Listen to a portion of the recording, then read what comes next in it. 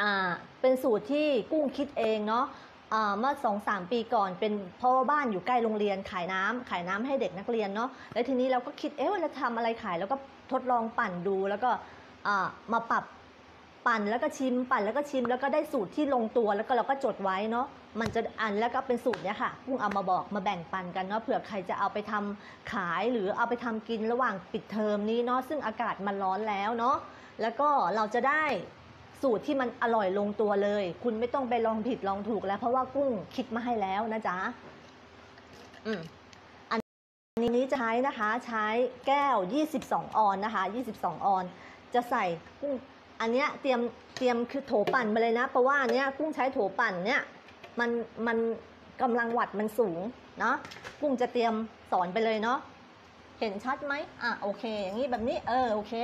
อันนี้กุ้งก็จะเตรียมอุปกรณ์มาแบบนี้นะคะ นี่นะช่างมาแล้วตวงมาแล้วนะ มีอะไรบ้างนะคะ ก็จะมีผงโกโก้นะคะอะชัดไหมเอ่ยเออแบบนี้ชัดกว่าเนาะอะโอเคอะเดี๋ยวกุ้งไปเตรียมอันนี้ก่อนนะ กุ้งตวงน้ำแข็งก่อนนะ น้ำแข็งก็จะเป็นน้ำแข็งบดอะค่ะ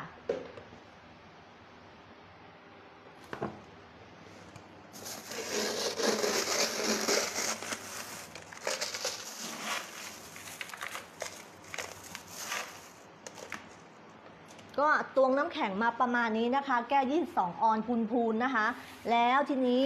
เราจะใส่โถปั่นไปเลยนะคะใส่โถปั่นไปเลย เพราะเพื่อเราก็จะปั่นทุกสิ่งอย่างเข้าไปพร้อมกันทั้งหมดเลยนะคะ อันนี้กุ้งใช้ผงโกโก้นะคะเอาน้ำตาลทรายก่อน คือที่จะบอกว่าสูตรกุ้งที่กุ้งใช้น้ำตาลทรายเนี่ยสองช้อนโต๊ะนะคะ เพราะว่ากุ้งไม่ได้ต้มต้มน้ำเชื่อมเนาะเพราะว่า กุ้งขี้เกียจมาเก็บรักษา เพราะว่ามันต้องต้องแช่น้ำเชื่อมต้องแบบกลัวมดอะไรเงี้ยเนาะกุ้งก็เลยแบบว่าใช้น้ำตาลทรายแบบนี้ไปเลยปั่นเข้าไปเลยนะคะสองช้อนโต๊ะนะคะ น้ำตาลทรายสองช้อนโต๊ะ แล้ววันนี้กุ้งก็ใช้ครีมเทียมด้วยนะคะ เพื่อเพิ่มความเข้มข้นหอมมันนะคะ มันจะได้อร่อยเข้มข้นจริง ๆ นะจ๊ะครีมเทียมนะคะสองช้อนโต๊ะนะคะสองช้อนโต๊ะ หรือถ้าใครไม่มีช้อนโต๊ะนะ กุ้งก็ใช้ช้อนโต๊ะแบบเนี้ยช้อนโต๊ะที่ไว้ตวงเค้กแบบเนี้ยเนาะ ถ้าใครไม่มีช้อนโต๊ะนะ เดี๋ยวกุ้งจะตวงให้ดูสสองช้อนโต๊ะ สมมุติว่า เดี๋ยวนะคะแป๊บนึงนะคะ อืมกุ้งใช้ช้อนแบบนี้นะแบบนี้สมมติว่าถ้าคุณไม่มีช้อนโต๊ะนะ กุ้งตวงแบบนี้เลยอะค่ะ แบบเนี้ยพูนพูนช้อนเลยอะแบบเนี้ยค่ะสี่ช้อนสี่ช้อนชาแบบเนี้ยพูนพูนเนาะมันก็ประมาณสองช้อนโต๊ะนะจ๊ะอะ แล้วผงโกโก้ก็เหมือนกัน ผงโกโก้ใส่เยอะกว่าชาวบ้านหน่อยสามช้อนโต๊ะนะคะสามช้อนโต๊ะนี่เนาะใส่ทุกสิ่งอย่างเข้าไปเลย อ่าแล้วตอนนี้สมมุติถ้าคุณไม่มีช้อนโต๊ะกุ้งก็จะบอกวิธีว่ากุ้งทำแบบนี้ กุ้งก็จะแบบอย่างนี้เลย ช้อนแบบนี้ช้อนเดียวกันนะคะ แต่ว่า 3 ช้อน 3 ช้อนชาแบบนี้นะคะพูนๆนะจ๊ะสมมุติว่าถ้าคุณถ้าคุณไม่มีช้อนโต๊ะตวงเนาะแล้วทีนี้ นมข้นหวานนะคะ นมข้นหวาน 15 ml นะคะ 15 ml ตรงไหนตรงไหน 15 ml นะจ๊ะ นี่นะคะประมาณ 15 ml เห็นชัดไหม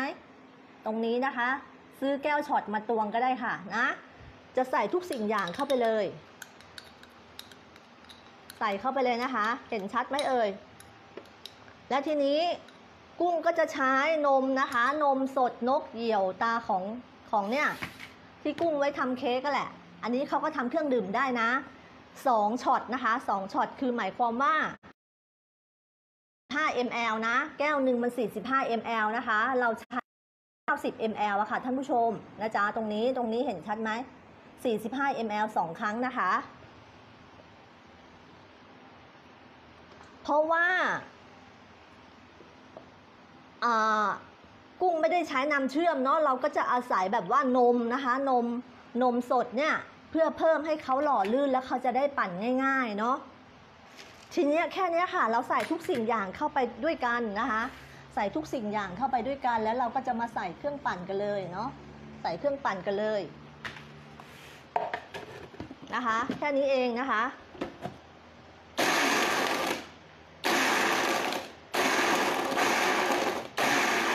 นี่แบบว่าทำแบบกระตุ้นให้เขาทั่วก่อนนะทั่วกันก่อน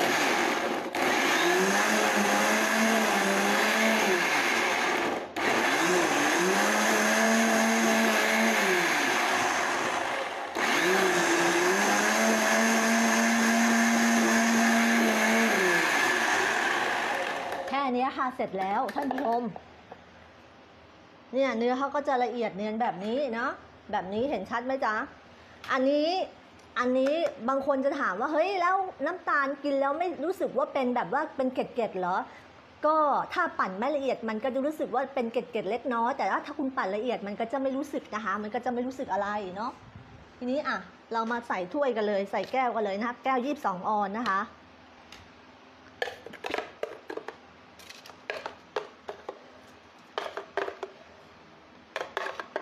นชัดไหม เพราะว่ากุ้งเห็นอากาศมันร้อนเนาะ แล้วก็มีคน inbox มาถามว่ามีแบบว่าเห็นเคยคุณกุ้งสอนทำกาแฟอะไรแบบเนี้ย มีสูตรอย่างอื่นไหม เผื่อจะเอาไปทำให้ลูกกินตอนปิดเทอม หรือเผื่อจะไปทำเป็นรายได้เสริมช่วงปิดเทอมอะไรอย่างนี้เนาะ เนี่ยค่ะ หรือว่าถ้าคุณจะทำแก้วเล็กกว่านี้นะแก้วแก้ว 16 ออนก็สามารถทำได้นะ 16 ออนก็คือก็คือใช้สูตรนี้แหละ เพียงแต่ว่ามันก็จะเข้มข้นขึ้นเพราะว่าน้ำแข็งมันน้อยลงใช่ป่ะคุณก็เอาแก้ว 16 ออนอะไปตวงน้ำแข็งใช้สูตรนี้เลยนะจ๊ะแล้วทีนี้กุ้งก็จะมาแบบว่าถ้าคุณจะเพิ่มราคาใช่ป่ะคุณจะเพิ่มราคาทีนี้เราก็จะแบบกุ้งก็จะมาโรยโอวันตินนิดนึงนะโรยโอวันตินภูเขาไฟนิดนึงเป็นโกโก้ภูเขาเป็นโกโก้ภูเขาไฟเนาะ โรยเข้าไปเพื่อเพิ่มราคานะคะ เพื่ออัพราคา มันก็คืออร่อยเข้มข้นนะคะ อร่อยเข้มข้น แล้วทีนี้กุ้งจะบีบวิปครีมนิดนึง อันนี้วิปครีมเนาะวิปครีมที่จริงๆแล้วมันต้องเป็นวิปครีมครีมสดนะ มันเป็นวิปครีมสดที่ใส่ที่เขาใส่แบบนี้ค่ะ ที่เขาใส่แบบนี้เนาะเดี๋ยวกุ้งเอาให้ดู ที่เขาใส่กระบอกแบบนี้เนาะที่เขาเขย่าเอาวิปครีมใส่แล้วก็เอาแก๊สเติมแก๊สนะคะ แล้วก็เขย่าเขย่าเขย่าแล้วก็บีบฟูดตรงนี้เนาะ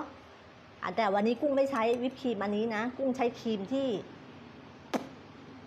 ที่แต่งเค้กเพราะว่ากุ้งใช้นิดเดียวกุ้งก็เลยใช้ครีมอันนี้แล้วแล้วกัน แล้วกุ้งจะชิมให้ดูนะคะ ว่ามันอร่อยเข้มข้นมากมันอร่อยมาก